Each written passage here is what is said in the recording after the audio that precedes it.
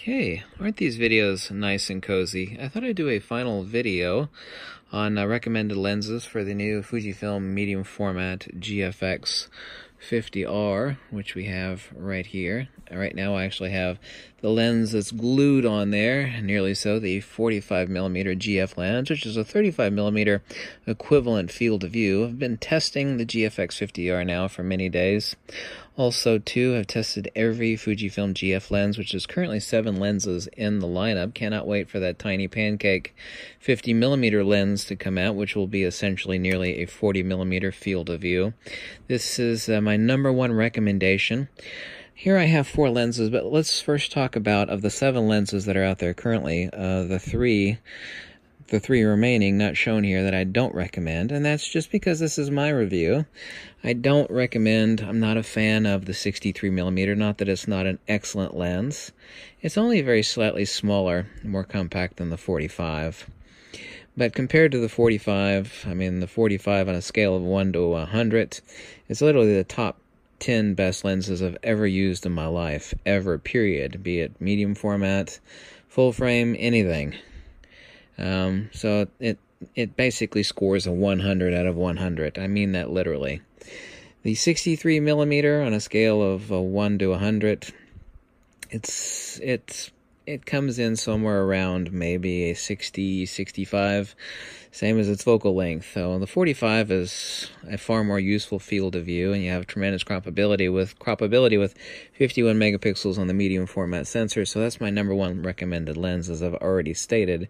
So we've left out the uh, 63 millimeter, the second lens to leave out, and it's a wonderful lens. It on a scale of 1 to 100, the 250 millimeter, which is a rather large lens and basically a 200 millimeter field of view, is being left out here because it is rather substantially huge on the GFX 50R rangefinder.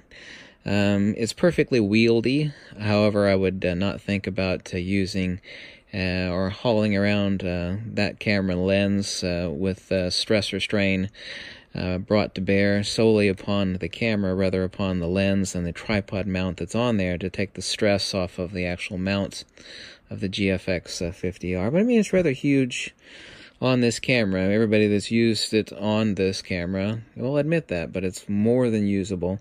The other uh, last lens that I've not included is 120 millimeter macro. It's a huge lens. It does have optical image stabilization, same as a 250 millimeter lens, but uh, I would not recommend that lens uh, high on the list really at all for the GFX 50R, and I'm a person that loves macro photography. I love it a lot.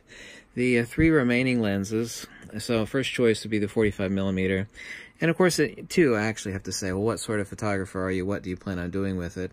Obviously, you might say portraiture. You know, forget about the 45 millimeter. I absolutely have to have that 110 millimeter f2, which is a field of view and equivalency of an 85 millimeter at f1.4, f1.5 excellent lens. There's no optical image stabilization, nor do you need it. Right now, currently, I have it on my GFX 50S. This is the portrait lens. But the second lens I would purchase if someone were to say, I'm getting into medium format, I'm going to buy the 45 millimeter. What's the second lens to purchase? If they didn't give me a specific parameter saying, hey, I want to shoot landscapes, here's our landscape lens, or hey, I want to concentrate on portraiture, and here's a portrait lens, obviously. So the 23 millimeter, by the way, is a 18 millimeter field of view. This is an f4 lens. It's absolutely excellent. Um, but the second lens to recommend, and it is a substantially large lens, however, it is incredibly useful and absolutely love it. Really, in many ways, it's my favorite GF lens. Um, you say, well, that's a zoom lens. You know, if I'm going to get a camera that's ultimate image quality, should I be buying a zoom lens? And it's always been the case in most instances as a general uh, generalization that's accurate is that uh, medium format zoom lenses have been incredible even since the days of film. There's no exception here. The 32 to 64 is a field of view equivalent of 25 millimeters to 50 millimeters, and uh, this lens is substantially large and heavy, so to say. Not bad at all wieldy on the GFX 50R, but this would be my second choice and recommendation. So incredibly useful.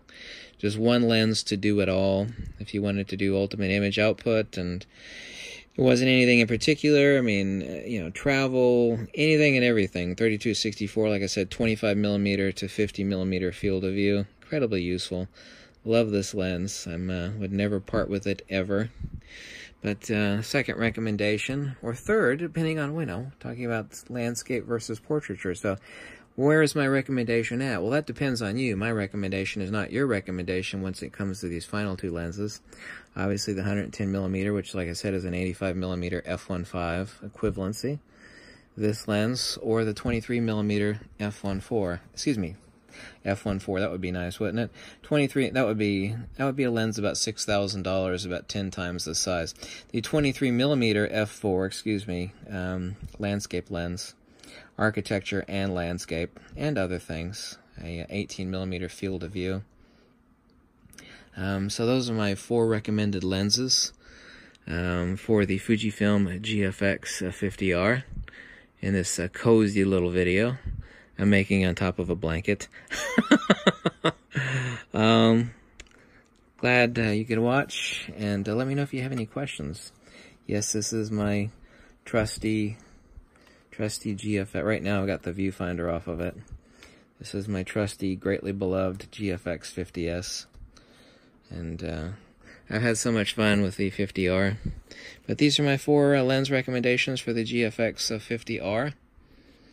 And uh, definite first choice of mine, this is my video review, not yours, is this 45 millimeter, which is a 35 millimeter equivalent. And uh, second, certainly so, the absolutely awesome and incredible 32 to 64 uh, zoom lens.